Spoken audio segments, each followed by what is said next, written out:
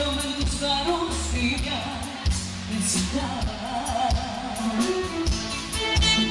Y si me taparon un beso, estoy en